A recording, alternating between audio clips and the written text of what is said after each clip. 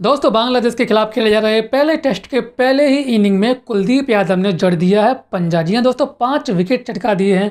कुलदीप यादव ने बांग्लादेश के खिलाफ खेले जा रहे पहले टेस्ट के पहले ही इनिंग में उनका साथ बखूबी दिया है। मोहम्मद सिराज ने तीन विकेट चटकाए हैं। वहीं एक विकेट दोस्तों अक्षर पटेल को मिला और एक विकेट उमेश यादव को मिला। दोस्तों, बात करेंगे कुलदीप यादव की। कुलदीप यादव वो खिलाड़ी हैं जिन्हें ज़्यादा मौके टीम इंडिया में नहीं दिए जाते हैं। लेकिन अगर किसी दौरे के लिए सिलेक्शन होता भी है तो ज़्यादातर उनको बेंच पे बिठाया जाता है या फिर पानी पिलवा करवाया था। जैसा कि आपने देखा था न्यूजीलैंड दौरे पर।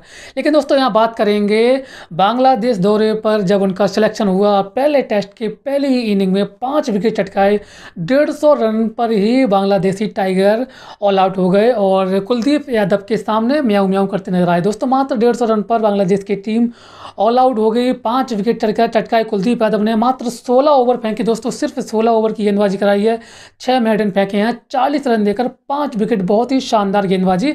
कुलदीप यादव ने इस पहले इनिंग्स में कराई। उनका साथ ही बखूबी दिया है। मोहम्मद सराज ने तीन विकेट चटकाए हैं। वहीं कुलदीप यादव ने, वहीं कुल उमेश यादव ने एक विकेट और एक विकेट अक्षर पटेल को मिला। दोस्तों, काबिल तारीफ़ करनी पड़ेगी यहाँ पर इंडियन बॉलिंग की। इस मैच में फ़र्स्ट इनिंग में जो कि इंडिया बॉलिंग ने कराई है डेढ़ रन पे ऑल आउट कर दिया है बांग्लादेश को। और दोस्तों, जब इंडिया बॉलिंग करा रही थी फ़र्स्ट इनिंग में तो मोहम्मद सिराज और लिटिन दास के बीच कॉन्ट्रोवर्सी हो गई थी।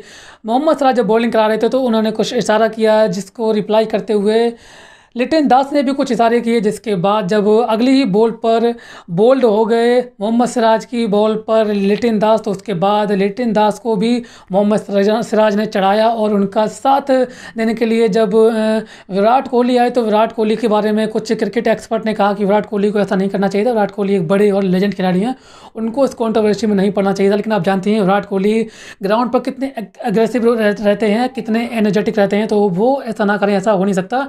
तो दोस्तों दोस्तों, आपको वीडियो पसंद आया हो तो लाइक और शेयर ज़रूर करें। फ़िलहाल इस वीडियो में इतना ही। मिलते हैं अगली वीडियो, तब तक के लिए जय हिंद, जय भारत।